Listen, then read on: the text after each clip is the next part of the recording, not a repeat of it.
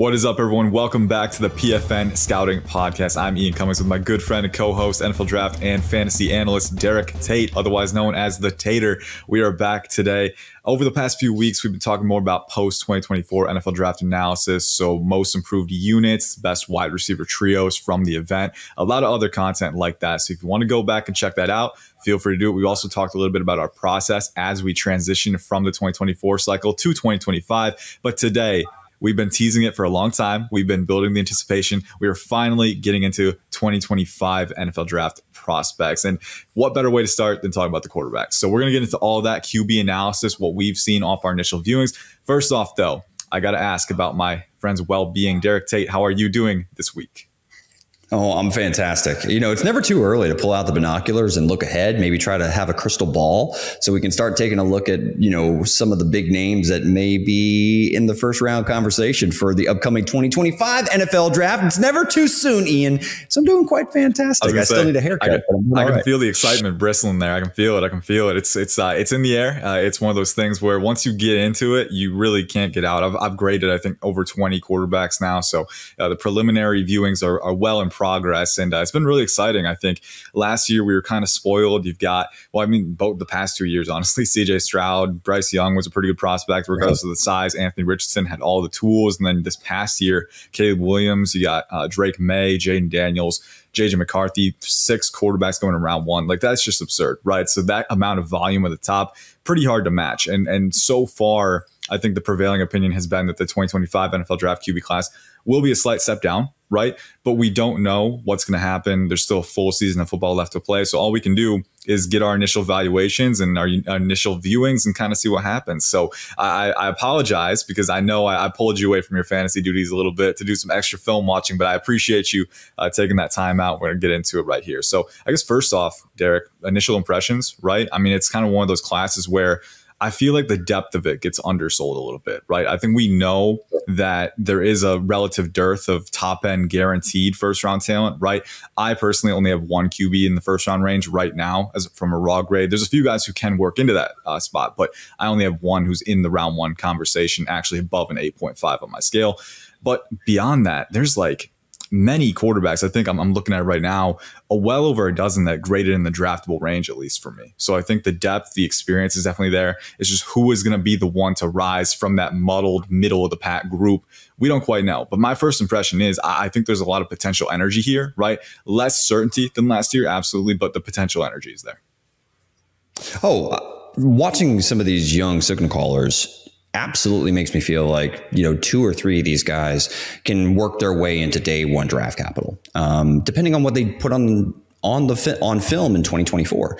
So you're probably talking about Carson Beck as the one guy that probably graded out that right mine, as yeah. a you know, bona fide you know day one prospect heading into the 20. 25 NFL draft. And, and I'm with you. I think that he is a first round talent. I've also got Shedeur Sanders in that round one range there's a lot of things that I really enjoy about his game that we can kind of talk about a little bit more nuanced here as we progress this conversation. But, you know, other really intriguing dual threat options. Like I like Jackson Dart's game. Jalon Daniels also really stood out to me. Jalen Milroe's got all kinds of physical mm-hmm. tools mm-hmm. out the wazoo. So I mean, there are some some young signal callers that flash some of that elite upside that I think a lot of today's NFL you know personnel and uh, offensive schematics you know with how many rpo concepts there are you know kind of you know integrating across the league there's a lot of conversation to have about some of these young prospects that have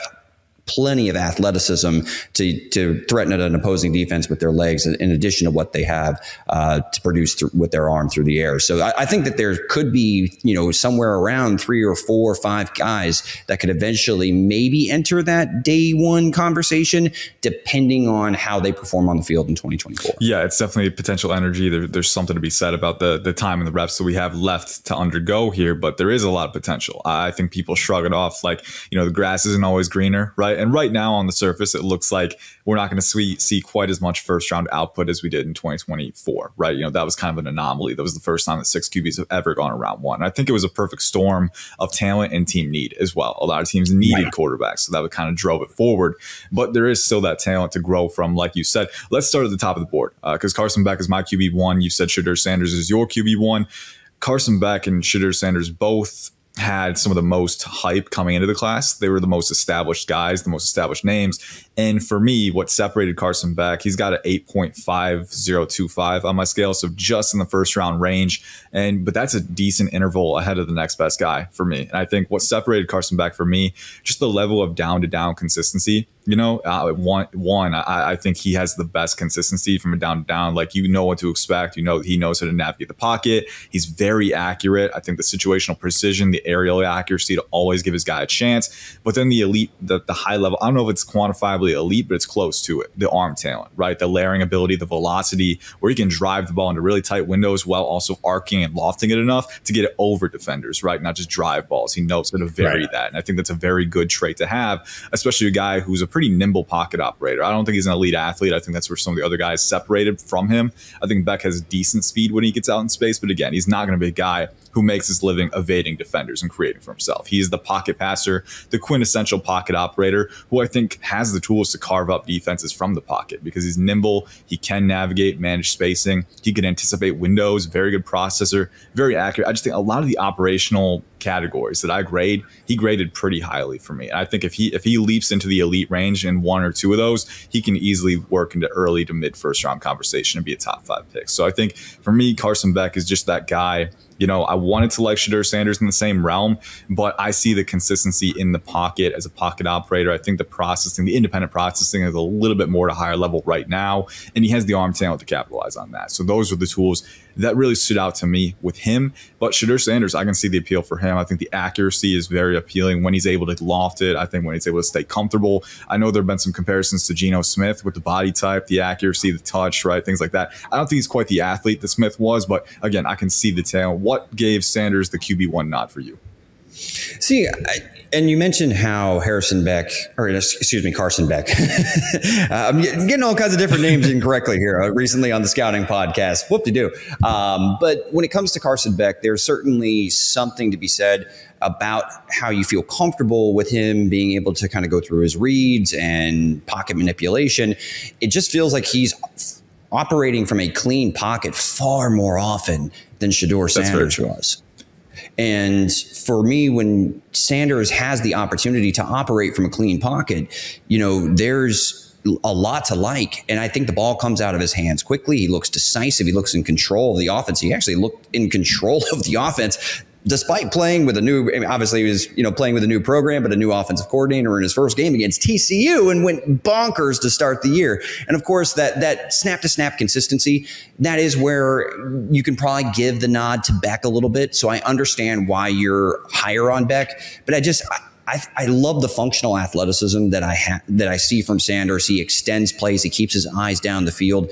Um, there is some anticipation with his game as well that I really like. It seems to understand the pre-snap processing um, process quite that was well. one thing that really stood out with me is the pre-snap autonomy and the play re- the, the recognition right where he can recognize opportunities in the defense whether they're in single high right all right audible get my guy up up the seam on a, on a slot vertical right and just let him feast on that space. He's definitely shown that he can make those pre-snap adjustments and capitalize on it. I think that autonomy is very very promising. And you mentioned it too georgia colorado you're kind of working at opposite ends of the spectrum when it comes to offensive line play. Georgia you know had had amarius mims go round one. They've got um uh, Earnest Greene, who's another prospect in this year's class that had Sedrick Van Pran, Tate Ratledge, Xavier Truss. They got a really good line up front. They always have. And I think that Carson Beck definitely thrives and flourishes with that. I do think some of the the offensive line inconsistencies at Colorado kind of ironed in some bad habits for Sanders, like drifting back in the pocket. And, and you want to, you hope that he gets better play this year so that he can fix that, right? Because sometimes the situation does create those bad habits for guys. So I want to see if he can correct that. But at the same time,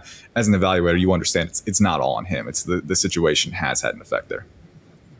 So, I mean, another thing that I really liked about Sanders' game too. So, when you did keep him clean, I thought that he was very efficient and effective uh, operating within the structure of an mm-hmm. offense. Mm-hmm. But I also, even though that there were some bad habits that, like you said, kind of popped up when he would face pressure, or you know, when the offensive line of Colorado was just outmatched against their opponent, which did happen, you know, frequently uh, in 2023.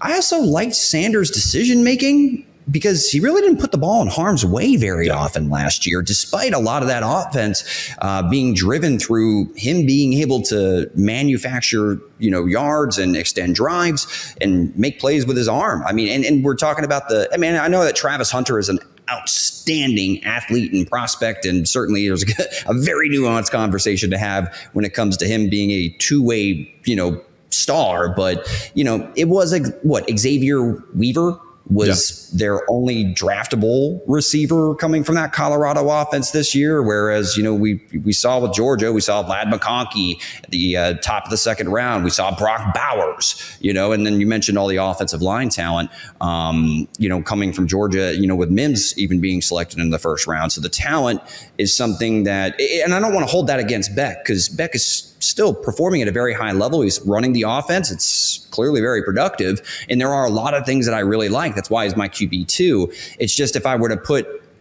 I would I feel as if I were to put Sanders in that Georgia offense and put Beck in that Colorado offense, you know, and I'm not saying that that's always the best way to compare prospects, but that is something that if I if I were to put those swap positions with those two, would I feel that Sanders would be just as effective or efficient in that Georgia offense as Beck would be in Colorado?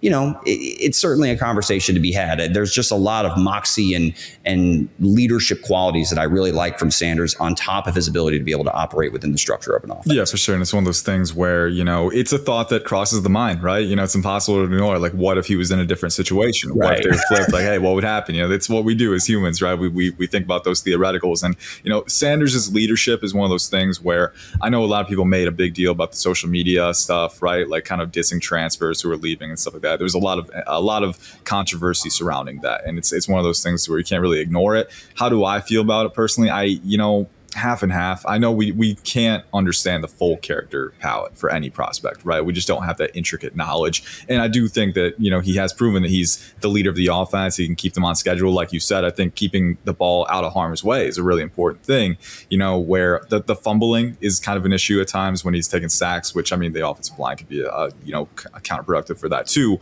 But there were also times where Sanders was drifting away and maybe can improve ball handling. So, you know, you want him to keep ironing out that. But I was looking at some stats here, and I think four, 430 attempts last year, only three interceptions, right? So that's below 1%. That's pretty impressive, right? And with the amount of volume that he was tasked with commanding in that passing passing attack, to have that low of a number, you can't scoff at that. That's impressive. You know, that's that's impressive, and I think that's translatable too. So, you know, I think on the leadership side, there's some pros and cons, but uh, you know, I'm, I'm not going to hold it against them because you know they're all young, they're all maturing, right? You know, let's see what they can do there. And you know, Deion Sanders was at the NFL level, he knows what he's doing, so it's one of those things. It's wait and see for me, but I, am really intrigued. And to the listeners out there, I told Derek to, to come in cold here. I, he didn't know my list ahead of time, so Sanders is actually my QB four. So I've got two guys in that okay. two to three spots ahead.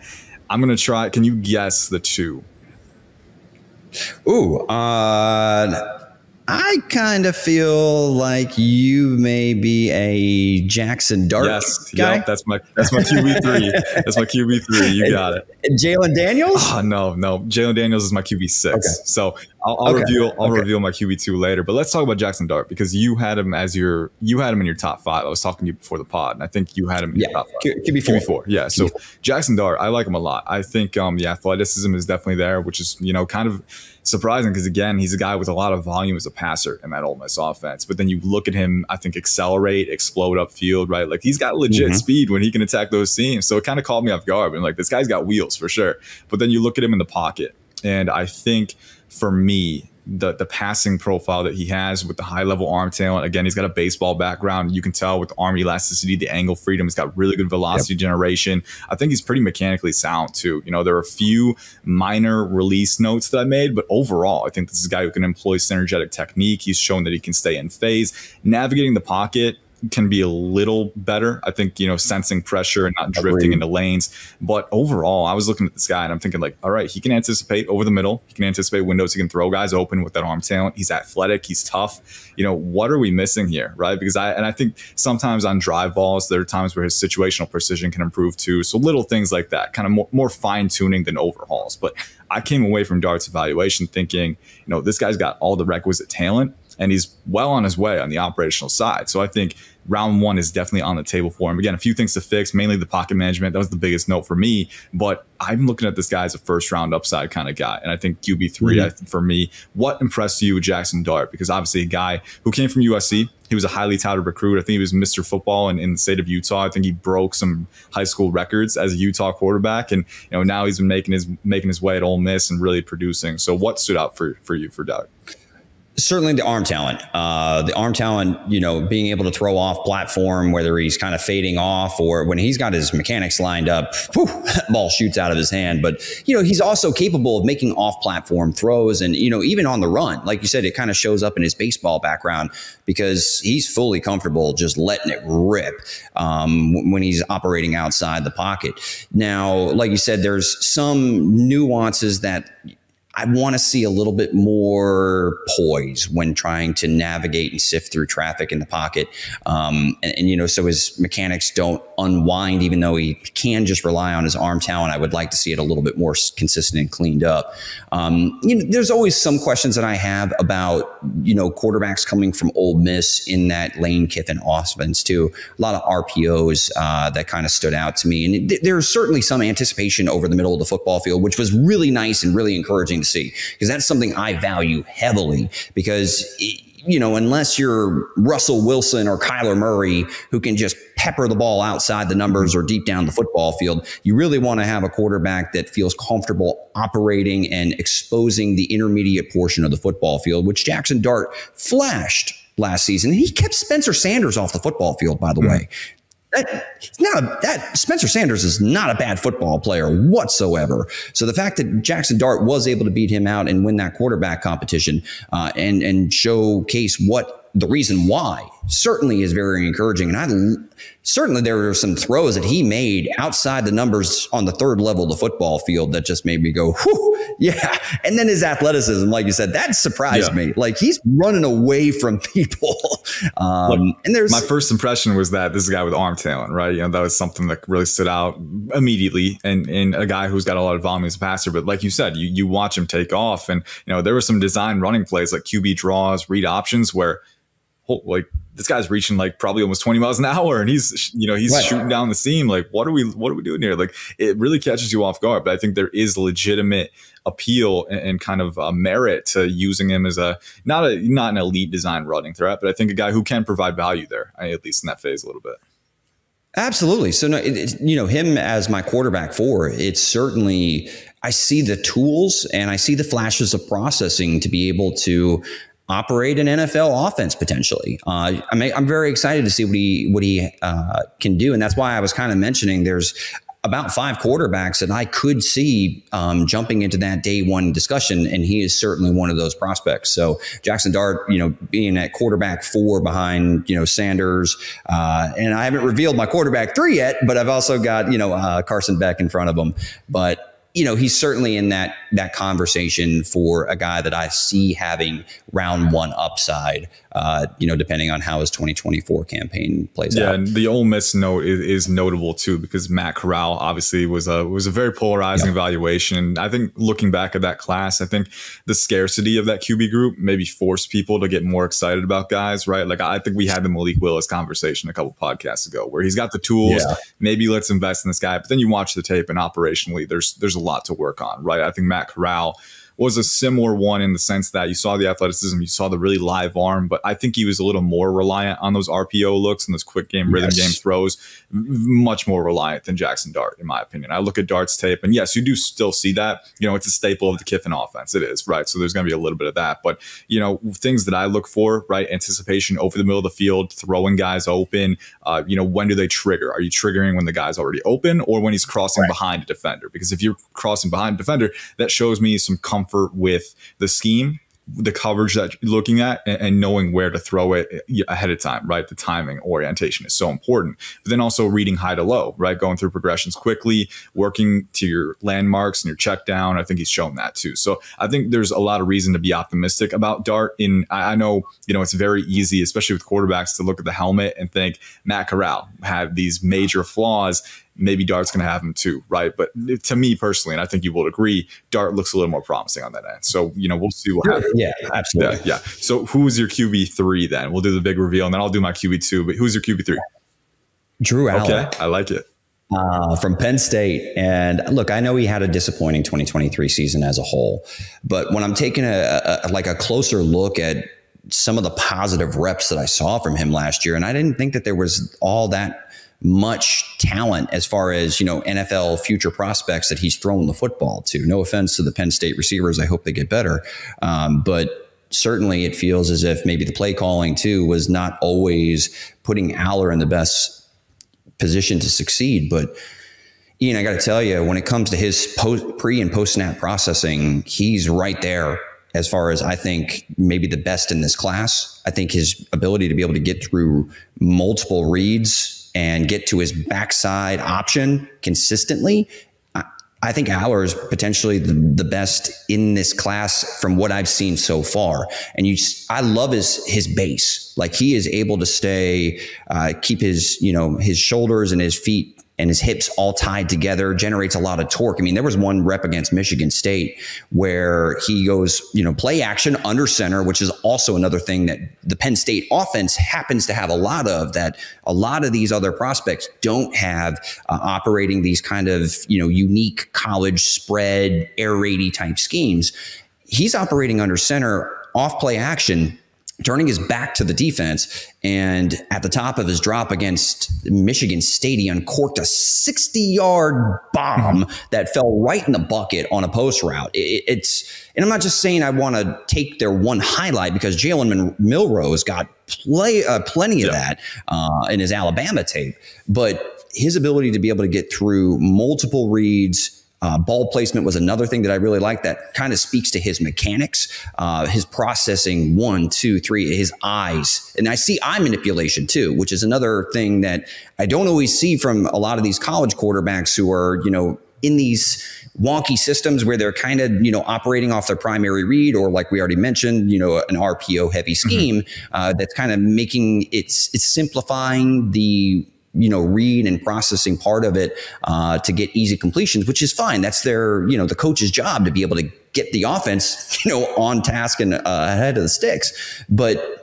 there's a lot of things that Drew Allar does when it comes to throwing with anticipation, accuracy on all three levels of the football field, uh, operating within the confines of an offense, and the mechanics that I really like, and you know certainly some very nice arm strength uh, and arm velocity mm-hmm. that I think translates very well. I just really wish that he was in a in a had a few more playmakers in that Penn State offense to kind of help elevate his game. I was I was very surprised. Like I think the first like five things you mentioned, none of them were arm strength. The guy's got a rocket. The guy's got a bazooka on his right shoulder, and the fact that you know the first five things you mentioned were not that kind of speaks to what he already has working for him. A guy who's going to be, if he declares, he'll just be a 21 year old rookie. I think he he'll still be very young. Right. He's only a, a junior, redshirt sophomore. He's a third year player, um, former five star recruit, so definitely has the physical talent for sure.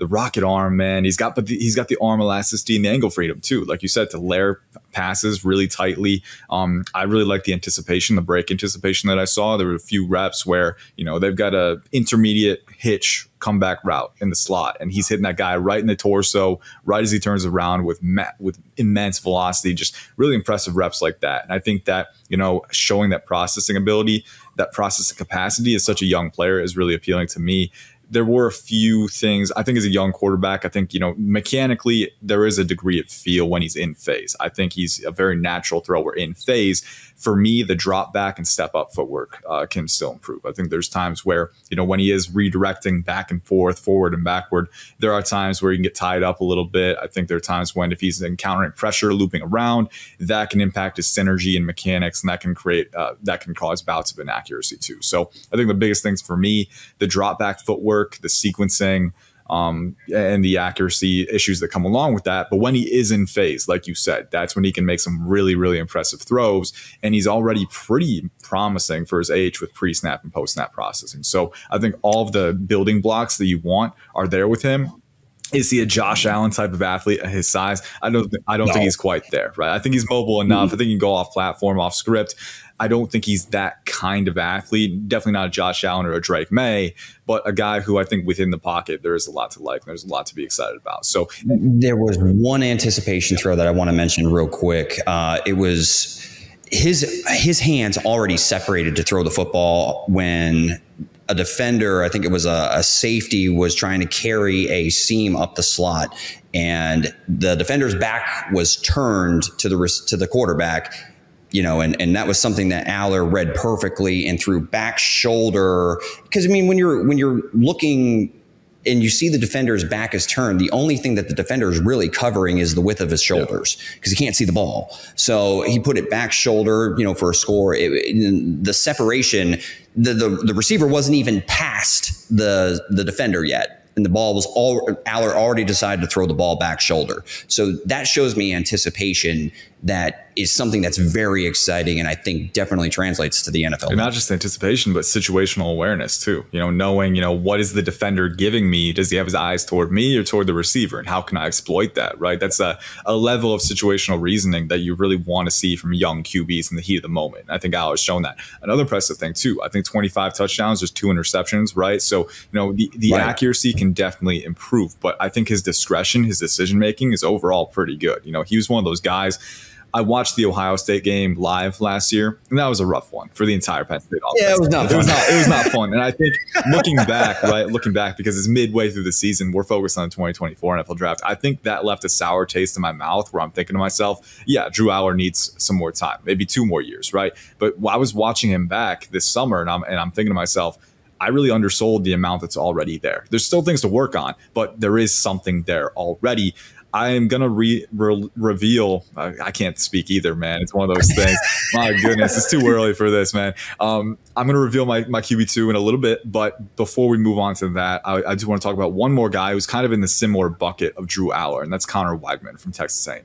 This is a guy who yeah. I was bringing him up to you. It was like pretty similar conversation in the sense that they're both really young. They're both former five star recruits, so the talent is obviously there. I, I, I don't know. I don't know if you got to watch as much of him, so we can go through this quickly. But for me, Conner Weigman is another guy to keep an eye on. At the very least, he was one of those guys who I think he started four games in 2022, was going to be the full time starter in uh, 2023, but suffered an injury uh, four games in and missed the rest of the year. So really, really small sample size to work with. But I will say, within the sample size we have, definitely another guy to keep on the first round radar if he can get more reps. I kind of he kind of feels like a more athletic Jared Goff to me, right? Kind of a similar body type, a little high hipped, but he's okay. he's definitely mobile. He can get out in space, he can throw off platform, and he can throw with pace. He's got really good drive velocity when he's loaded up, and he's also got good touch. And I think the ability to add loft on his throws and use that arm elasticity. Again, that baseball background. We see that every now and then. When guys have that baseball background, their arms are usually a little bit looser, a little more elastic, a little bit more free flowing with their angles and release points. And Conner Weigman definitely has that too. So I think, you know, a lot of the young QB things that you want to see him improve on, right?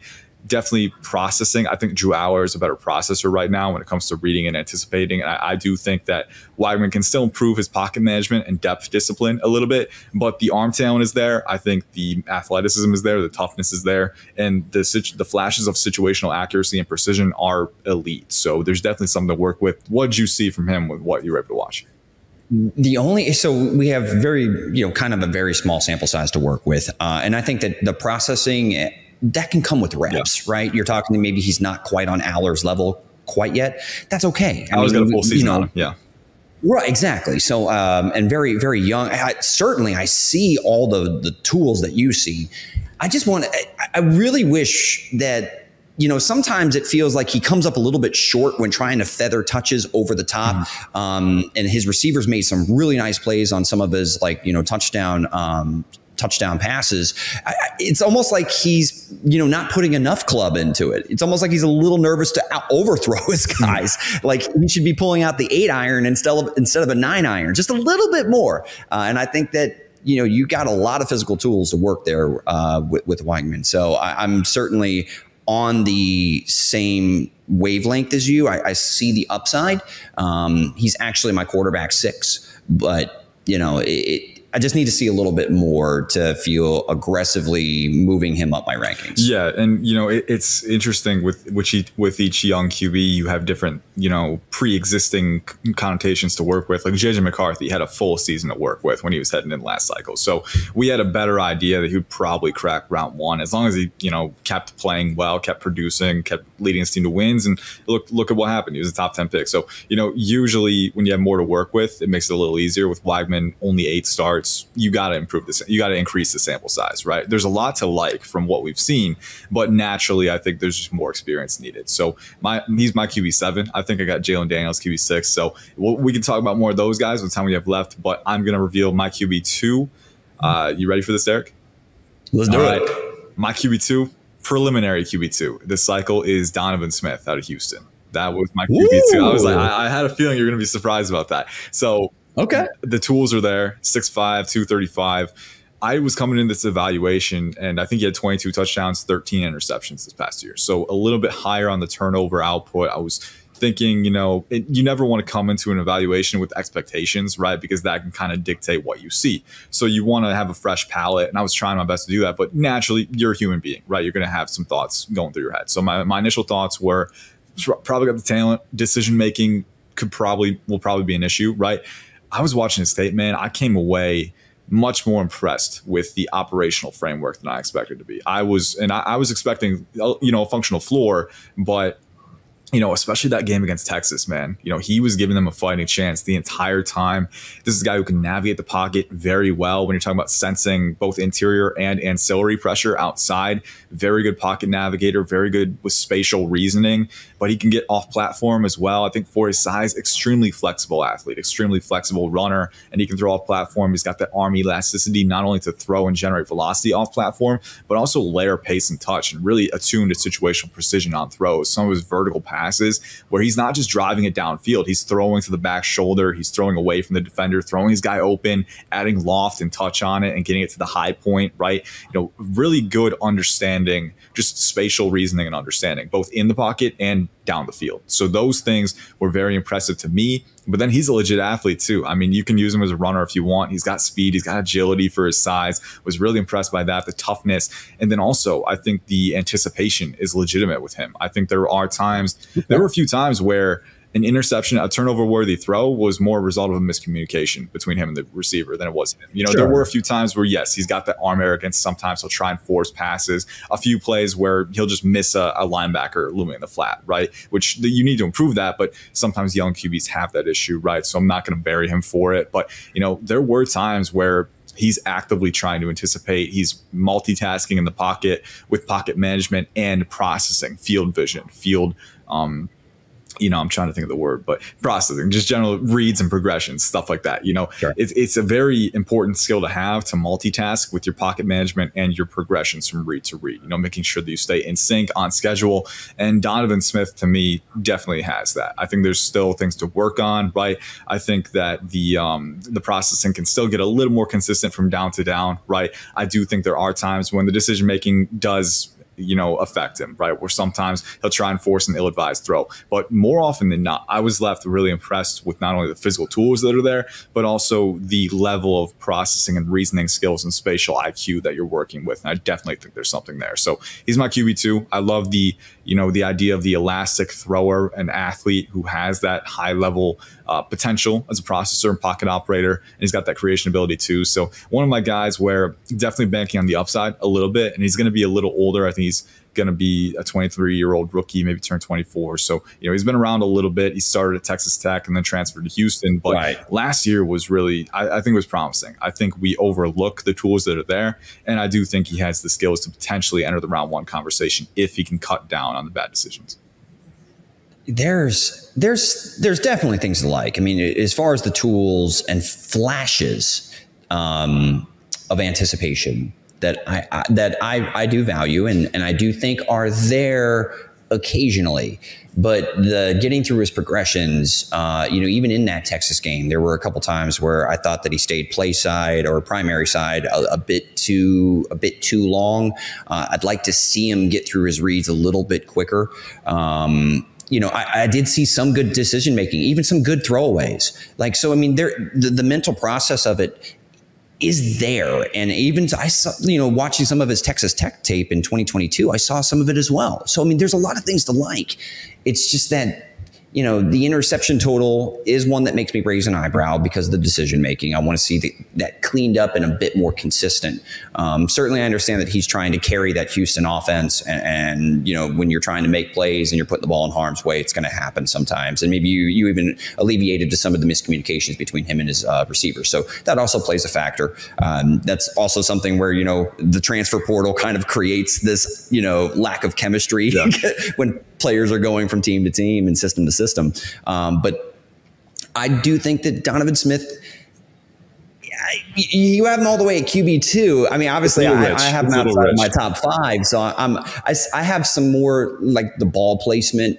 Um, I see some ball play placement issues, uh, ones that are not. He, sometimes he's putting it within the catch radius of a player, but not always maximizing YAC mm-hmm. with precise ball placement. I, we see flashes of it, like you said, going back shoulder. Um, so it's there. I just want to see it more consistent. For sure. So that, that's where I guess that that's where I kind of feel with Donovan Smith. I just want to see the high end flashes just a bit more consistent, and then I feel more comfortable elevating an athlete that I think can contribute with his legs and threaten defenses, um, you know, in that capacity, moving him a, a, little bit farther up my ranks. Yeah, and um, I'm checking my grades here real quick. Yeah, I, the big one of the bigger accelerants for his uh, for his grade was the physical tools. Right. Obviously, I think there's enough an operational framework to work with, and the pocket management in particular was very impressive to me. But he scored an eight for arm strength, so very good. A nine for arm elasticity for me because that angle freedom, that off platform ability, that layering potential was really impressive to me. And then an eight from creation capacity too, because he is a very live, elastic athlete for his size. The explosion, the change of direction, the sink, the evasive capacity. I think all of that is there with him. So, you know, the key thing, like you said, you know, is delivering on that potential because there are still a few areas where he can improve. But I came away very impressed with that overall combination. And he's one of those guys. Him and Dart are both more of a top 75 grade for me right now overall. They're not first round guys. Carson Beck's the only one in that, in that discussion for me. But um, there is potential with that group. So I'm very excited to see what they can do. We've got got around we'll go with 15 minutes 13 minutes. We always end up going over derek. I you know when, when, when dalton was here when dalton was here he's like ian we gotta we gotta stop at 45 minutes. We gotta stop man. But um we're already getting more lenient there. So i apologize dalton. We we tried as best as we could. We just talked too much. Um so we've got a few more names to go through. One name i, I do sure. want to touch on quinn ewers from texas. I know he's had some some hype as well being a five star recruit. Did you get a chance to watch him at all get some thoughts on him? Because i was a little lower on him personally. I just my my thoughts on him. You know, one, I don't think he's that elite creative force to to kind of compensate for the deficiencies I see in the operational side, right? You know, he weighed in, I think, under 200 pounds this past season. I don't know how translatable that's going to be at the NFL level for durability and play strength and things like that. And I, you know, there were times where the arm talent is definitely there. I think he's got great arm strength. He's another one who scored a nine, above a nine for arm elasticity because it's the angle freedom with him is really second nature and it's very impressive. The off platform ability, but there is an extreme, even even still after two years of starting, to me, there's a pretty extreme lack of mechanical discipline right and yes. discipline and that really it's still pretty concerning for me because that can impact timing pocket management everything and it can make the offense a lot less predictable right and if you're a quarterback you you look at Quinn Ewers and then Carson Beck, right? Carson Beck, always on time, always in rhythm, always very, very efficient with his movements. And that kind of maximizes, accentuates his raw talent and traits. With Quinn Ewers, sometimes it detracts from it. And so I'm, I'm, I'm really curious to see if he can improve that because right now it still feels like one of my notes on him in 2022 was that it felt like he was free flowing a lot and that that led to issues of pocket navigation and spatial reasoning but then also accuracy down the field and I still think exactly. those issues come to light. So you're, you're, you're preaching to the choir here. Everything you're saying, you're, you know, I, I, might as well raise my hands up and just you know say hallelujah because there's you hit the nail on the head. Um, one thing I, I, feel like Ewers is a see it before I throw it type yeah. guy. And it's unfortunate, you know, it, maybe that wasn't the case. He was willing to give his playmakers on the outside a, a shot in contested catch situations when they were covered. Um, you know, and he, he did flash that ability with that, you know, um, plus level arm strength and ability to push the ball down the field. It's not that the young man can't rip it with his arm. It's just like you said, the mechanical consistency playing within the structure of the offense. There was a lot of people running wide open in this Steve Sarkisian offense. And, you know, of course, when you have, you know, Ja'Tavion Sanders, who got drafted, uh, what was it on day two? You had Jonathan Brooks get drafted on day two. You had, uh, same thing with Adonai Mitchell. Oh, by the way, Xavier Worthy was a round one yeah. pick. Like, there was just so much talent on this offense. And it's not that Ewers was terrible, but I thought he left a lot of meat on the bone. And when it came to his ball placement and his processing, that he left some just big plays out there that just didn't man, like uh, manifest themselves because of Quinn Ewers. So I don't think the talent's going to get better, you know, than what we saw his pass catchers were last year. So I, you know, as much as there is physical ability, I don't think he's going to be much of a dual threat playmaker on the next level because you mentioned his size. And I just don't think that he's that twitchy, that explosive. And, and, and directly comparing him to some of the top athletes, uh, dual threat prospects in this class, I, I, think he's towards the bottom of the list. Um, and like you mentioned, sub 200 pounds, like, you know, he's I don't see him breaking many tackles, if any, at the next level. So it's um, if he's going to have to go strictly based off of what I've seen from him as a passer, I think he still has a long way to go. Can he get there? Potentially, but from what I saw, he's somebody I'm I, I'm I need to see a lot more consistency from in order to feel better about him. You know, maybe even sneaking into like the late day two conversation. I think he's probably going to be a day three. Yeah, and it's tough because you know you, the, the I feel like there's a little bit of residual hype being a five star recruit. You know, people look and not just a five star recruit, but he was one of the most publicized guys out there in a long time. He was the number one overall recruit. He signed with Ohio State initially, then he transferred to Texas, and he was Steve Sarkisian's you know, you know, diamond signing, right? Like this is the guy who's going to reform the program, and uh, they've done they've been competitive. They, have done very well, but um, right. you know, I, I, still think it's a different discipline translating that to the NFL, and I still think there's a lot to work on, and there's not that elite physical combination to rely on. You know, like Anthony Richardson, right? You know, not not an exact combination, right? Because I think Richardson did have a lot of things working in his favor on the operational side. But one reason people were so willing to bank on that is because that elite physical combination was there. I, I don't think I don't think Quinn Ewers is anywhere near that kind of point. So I, I, have, I have a day three grade on him as well. If he can improve the depth discipline and the mechanical discipline and the, the processing, right? Because I, I agree too. He's more of a see it, throw it guy. He's not not a high level anticipator. Um, very just a lot of a lot of components of his game are off schedule right now, and I don't know how translatable that is. So if he can improve that, I think day two is a possibility. But um, you know, I'm still I'm a little hesitant there. With the time we have left, a couple more names that I, I definitely want to touch on, and we can maybe touch on a couple more if we have more time. But you've mentioned both of them. Uh, the two Jalen's, Jalen Milroe and Jalon Daniels. These two guys, yeah. they feel like wild cards to me, both of them. And I'm very excited to see what they do. But I want to start with Milroe because we both were talking about him before the pod, and the tools are just out of this world, right? And he's at Alabama, and they have Kalen DeBoer, who came from Washington now. And look at what Kalen DeBoer did for Michael Penix Jr. when he came over from Indiana, turned Michael Penix or helped turn Michael Penix Jr. into a top 10 pick going eighth overall, the Falcons. So, you know, he's proven that he can do work that kind of success with quarterbacks before, with very talented quarterbacks before. Alabama has the talent around him. Jalen Milroe, man, what do you think about this guy? Because my, my my prevailing my prevailing revelations were that very talented, still a lot of room for growth on the operational side, right? I think the throwing, the mechanics, I think the processing and the field vision is very hot and cold right now. But uh, again, he's a hyper elite athlete. This dude is explosive. He's strong. He'll probably run a 4-4 at like 6'2", 220, right? So he's got all of those tools and he's got a rocket arm too. Generates velocity with ease. He's got some off platform ability. I think a lot of good things to work with but what does he need to work on? Give us a lowdown. I want to I want to see him play within structure and get the ball out of his hands a little bit quicker, more consistently. Like have it the the processing portion of it is something where it's very inconsistent because there's there's times where he'll you know, make it all the way to the backside or uh, get off of his primary read pretty quickly, and then you know throw a, a 45 yard dart or a 60 yard bomb like like that. There's there's flashes of of excellence as a passer, but I, I think that there's times where he he struggles a little bit to take a little bit off the fastball to layer his throws yeah. consistently. Like that's something where we, we know he's got a howitzer. It's just can he consistently, you know, with ball placement, um, and that a lot of that has to do with you know mechanics and operational side playing on time because if you're not playing on time consistently then you're trying to fit it into a tighter window um, or you're just getting off of that read completely and your mechanic and your timing timing's all off. And that's the, the portion of it that concerns me a little bit, uh, operating a high level passing attack.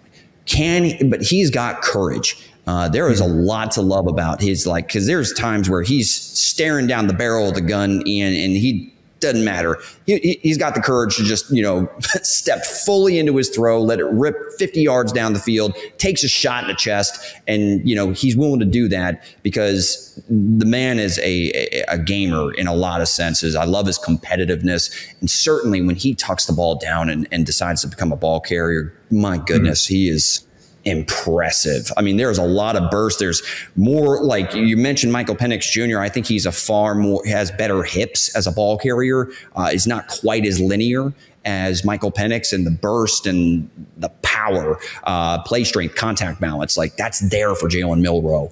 Um, there's so much to like, but the processing of it is something that concerns me. Um, sure, it, the highlights are outstanding, but the consistent snap over snap processing. Um, and work the, the willingness to work the middle of the field with the anticipation uh, in the short to intermediate game is something that I want to see him be far more consistent with before because he's got the physical tools to be a day one pick. It's just you know that processing element um, is something that makes me a little bit nervous. So he, he's an interesting study, man. Yeah, he's, he's, he's, fun. All the physical tools are there, like you said, the toughness, and I think the resolve is really gonna, you know, win over NFL evaluators because this is not just a guy who shows that toughness on the field, but he was benched uh, for Tyler Buchner for one game last year, right? And that could have been the end of it, right? But then he came back in the next week and he played very well. And by the end of the season, he was probably Alabama's one of their driving forces on offense for their success, in spite of his flaws as a passer. So